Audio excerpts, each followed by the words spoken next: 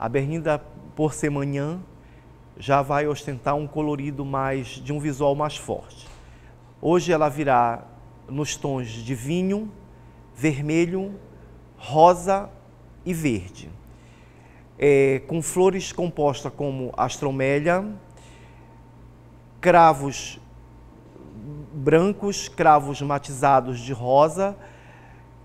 é, cravos cor de vinho, rosa é, vinho, lírios, orquídeas é, faleanópolis e as folhagens, de, é, as bromélias em tons de verde com detalhe vermelho e tostão, alfinete, alfinete